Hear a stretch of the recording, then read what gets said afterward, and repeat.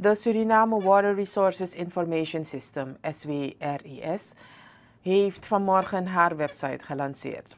Het doel van het SWRIS-project is het creëren van een informatiecentrum voor het verzamelen en distribueren van waterdata. Verder beoogt zij het promoten van het beheer van de waterhulpbronnen in Suriname. Het project is gefinancierd door de UNDP.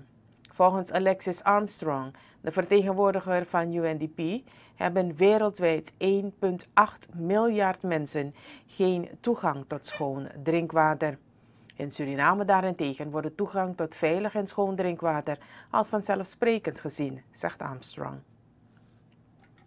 After all, over 90% of your population has access to affordable and reliable high quality drinking water.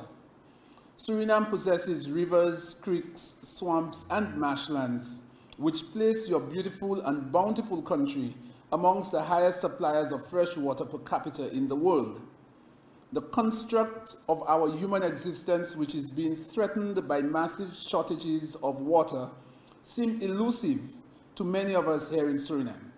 It simply is not our reality here, where the abundance of water hardly causes one to pause and consider what life would be like without this resource. Dave Abeleven, directeur van het ministerie van Natuurlijke Hulpbronnen, is blij met de webportaal omdat er heel wat data is verzameld. Wij hadden de indicatie dat al die informatie verloren zou gaan als het niet op de een of andere manier goed bijgehouden zou worden, zegt de directeur. Volgens Riyad Noor Mohamed, projectcoördinator van SWRIS, is het initiatief van de Suriname Waterportaal opgericht om de belangrijkste informatie gratis en direct ter beschikking te stellen. Verder is de website een informatiebron van waterdata voor geheel Suriname, benadrukt Noor Mohamed. Omdat dit precies aansluit op de behoefte die was aangegeven een paar weken terug, maar ook daarvoor, van het hebben van één centrale plek waar we alle data, onderzoeksresultaten, informatie, bronnen bij elkaar kunnen hebben, beheren, aanvullen en natuurlijk ook in de loop der jaar verder kunnen uitbouwen.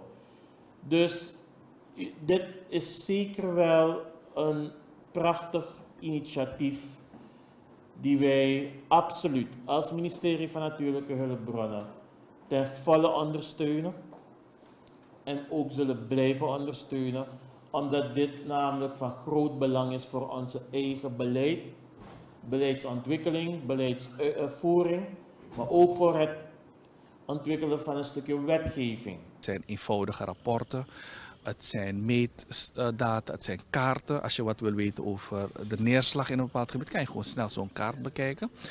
Dus het is voor zeg maar, scholen die een verslag moeten schrijven over water in Suriname, tot uh, universiteitsstudenten en docenten die onderzoek moeten doen, wetenschappelijk onderzoek.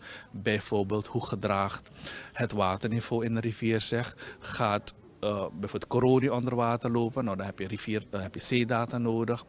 Uh, hoe ziet ons grondwater eruit? Waar hebben we grondwater? Maar uiteindelijk ook voor uh, de, de NGO en de overheidssector. Dus consultants die een onderzoek moeten doen, een studie moeten doen over waterbeheer in een bepaald gebied. Die kunnen alvast hierop kijken waar zijn de meetstations, uh, waar kan ik die data krijgen. En ook voor internationale mensen. Er zijn vaak internationale onderzoekers die onderzoek op water willen doen.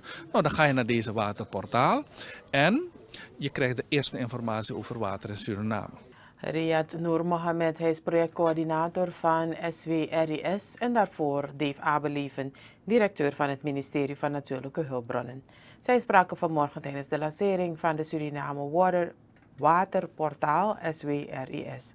De lancering vond plaats in de, aula van het IGSR-gebouw op het universiteitscomplex.